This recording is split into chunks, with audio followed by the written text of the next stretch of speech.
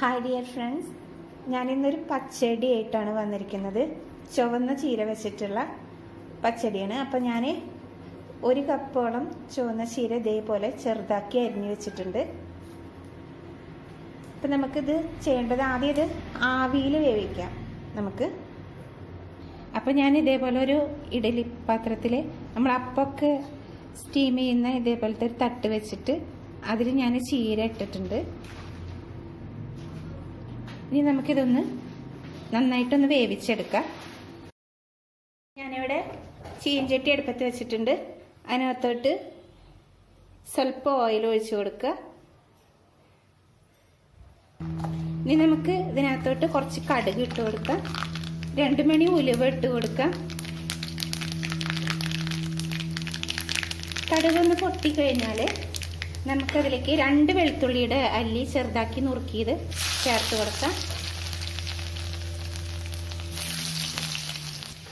ഇതൊന്ന് ഇളക്കി കൊടുക്കുക വെളുത്തുള്ളി ചെറുതായിട്ടൊന്ന് കളർ മാറിയിട്ടുണ്ട്. നമുക്ക് ഇതിനകത്തോട്ട് ഒരു രണ്ട് ടേബിൾ സ്പൂൺ ചോന്നുള്ളി അരിഞ്ഞത് ചേർത്ത് കൊടുക്കാം. ഇനി ഇതിനകത്തോട്ട് എരിവിന് നമ്മളിവിടെ പച്ചമുളകാണ് ചേർക്കുന്നത്. അപ്പം എരിവിനനുസരിച്ച് അതിനനുസരിച്ച് പച്ചമുളക് അരിഞ്ഞ് ചേർത്ത് കൊടുക്കുക ഇതൊന്ന് നമുക്ക് ഇളക്കിയെടുക്കാം നന്നായിട്ട്. ഇനി ഇതിനകത്തോട്ട് നമുക്ക് പാകത്തിന് ഉപ്പ് ചേർത്ത് കൊടുക്കാം. ഇനി ഇതിനകത്തോട്ട് നമുക്ക് നേരത്തെ ആവിയിൽ വേവിച്ച് വെച്ചിരിക്കുന്ന ചീര ചുവന്ന ചീരയാണ് ഞാൻ ഇവിടെ എടുത്തിരിക്കുന്നത് ചേർത്ത് കൊടുക്കുക ഇതെല്ലാം കൂടെ നമുക്കൊന്ന് മിക്സ് ചെയ്ത് കൊടുക്കാം. ഇവിടെ ചുവപ്പ് ചീര എന്ന് പറഞ്ഞ് കിട്ടുന്നത് അത്ര ചുവന്ന കളർ ഇല്ല. അപ്പോൾ നിങ്ങളുടെ അവിടെ നല്ല ചുവന്ന കളർ ചീര കിട്ടത്തിന് അത് വെച്ചിട്ട് വേണം ചെയ്യാൻ. എന്നാൽ കാണാനും നല്ല ഭംഗിയായിരിക്കും. നല്ല ചുവന്ന കളറിൽ തന്നെ ഇരിക്കും ഈ കറി. ഇവിടെ അത്ര ചുവപ്പ് കളർ കിട്ടില്ല അവിടെ കിട്ടുന്ന ചീരയ്ക്ക്.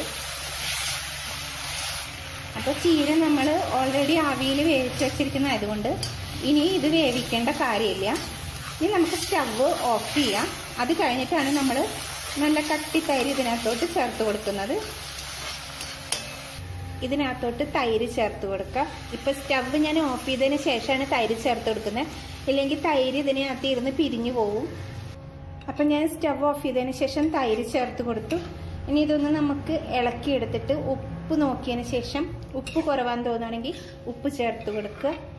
അപ്പോൾ കണ്ടില്ലേ ഇവിടുത്തെ ചീരയ്ക്ക് കളർ കുറവാണ്. അതുകൊണ്ടാണ് ഈ ഒരു കളറിൽ ഇരിക്കുന്നത്. അപ്പോൾ നാട്ടിലുള്ള ചീര നല്ല ചുവന്ന ചീര നിങ്ങൾക്ക് കിട്ടാനുണ്ടെങ്കിൽ അത് വെച്ച് ഉണ്ടാക്കുമ്പോൾ നല്ല ഭംഗിയുള്ള കളറായിട്ട് ഇരിക്കും. തൈര് ചേർക്കുമ്പോൾ നമ്മൾ ശ്രദ്ധിക്കേണ്ടത് അധികം പുളിയില്ലാത്ത തൈര് ചേർത്ത് കൊടുക്കണം. ഒത്തിരി പുളിയായി കഴിഞ്ഞാൽ പച്ചടിയുടെ ടേസ്റ്റ് അങ്ങ് പോയി കിട്ടും. അപ്പോൾ ഒരുപാട് പുളി ഇല്ലാതെ ചേർത്ത് കൊടുക്കുക. ഉപ്പൊക്കെ പാകത്തിന് നോക്കിയിട്ട് നമുക്കിട. അതിൽ കറിവേപ്പിലൊന്നും ചേർക്കുന്നില്ല. എരിവിന് നമ്മൾ പച്ചമുളക് ചേർത്ത് കൊടുത്തിട്ടുണ്ട്. അതുപോലെ തന്നെ മഞ്ഞൾപ്പൊടി ചേർക്കില്ല പച്ചടിയിൽ മഞ്ഞൾപ്പൊടി ചേർത്ത് അതിന്റെ കളർ മാറും. അതുകൊണ്ട് അത് ചേർക്കുന്നില്ല. അപ്പം നമ്മുടെ ചുവന്ന ചീര പച്ചടി ഇവിടെ റെഡി ആയിട്ടുണ്ട്. അപ്പം ഇത് വളരെ സിമ്പിളാണ് എല്ലാവരും വീട്ടിൽ ട്രൈ ചെയ്ത് നോക്കണം. ചോറിനൊക്കെ കൂടെ കഴിക്കാൻ നല്ല ടേസ്റ്റുള്ള ഒരു കറിയാണ്. അപ്പോൾ എന്റെ വീഡിയോ ഇഷ്ടപ്പെട്ട ലൈക്ക് ചെയ്യാനും ഷെയർ ചെയ്യാനും മറക്കരുത്.